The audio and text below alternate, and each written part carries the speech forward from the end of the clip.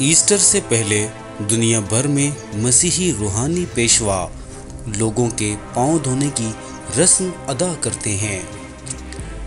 ऐसे ही पादरी एशले ये रस्म लांडी जेल कराची में कैदियों के पाँव धोकर अदा करते हैं।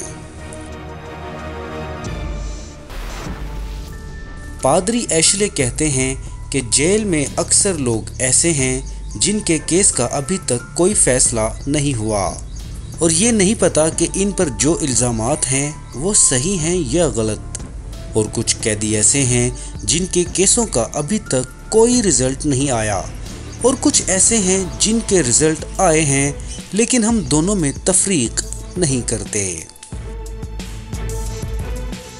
हम मसीही लोग इस दिन को याद करते हैं, जिस दिन यसु मसीह ने अपने शागिर्दों के पैर धोए और एक मिसाल कायम की कि गोया वो उस्ताद था, क्योंकि वो बड़ा था और इसने फिर भी अपने शागिर्दों के पैर धोए।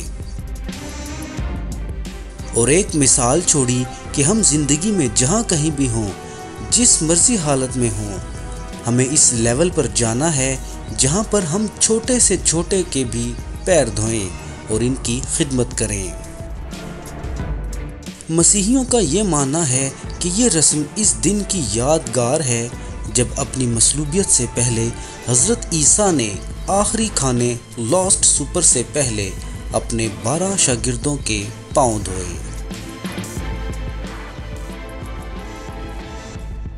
पादरी एशले ने मजीद कहा कि हम मसीही लोगों पर यह वाजह करना चाहते हैं कि इनकी ज़िंदगी और इनकी तर्ज ज़िंदगी में हम अलीम लोग हैं।